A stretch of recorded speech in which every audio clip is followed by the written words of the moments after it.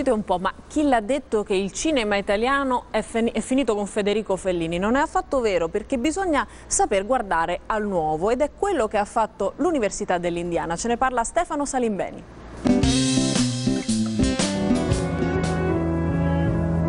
Cinema e attualità sembrano fondersi per il regista Mimmo Calopresti e non solo per scelta. Nel suo caso ci si mettono anche le coincidenze. Però poi inizia il turno. Come pochi giorni fa, quando in contemporanea con la proiezione del suo documentario sulla tragedia della ThyssenKrupp, l'acciaieria dove nel dicembre 2007 persero la vita sette operai torinesi, è uscita la sentenza di condanna per vertici e amministratore delegato. Coincidenza in questo caso fortunata per studenti e relatori riuniti all'Università dell'Indiana per il simposio sulle nuove tendenze del cinema italiano, che di Calopresti, ospite dell'evento, hanno colto dal vivo le prime reazioni a caldo. Ed è incredibile le cose che succedono qui, perché sono tutte vere. Finalmente, ha detto il regista, in Italia si comincia a capire che la vita delle persone è più importante del profitto.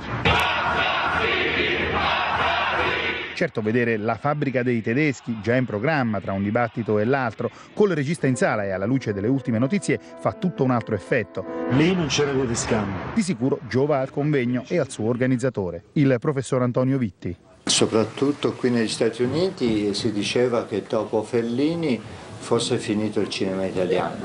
Invece io penso che abbia dei bravissimi uh, sceneggiatori, attori, attrici, registi i film sono ben fatti e che bisogna soltanto promuoverli eh, nel Nord America e nel mondo. Una produzione, quella italiana, che in realtà non sforna solo cinepanettoni.